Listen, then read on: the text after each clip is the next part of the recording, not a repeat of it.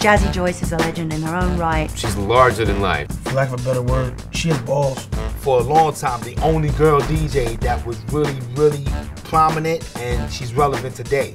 And that means something. As a seasoned radio jock, she's got a particular manner about her, which is very steady and very consistent. Jazzy Joyce, to me, is the total package. When it comes down to doing it, she, she's a she's a veteran. She knows what to do.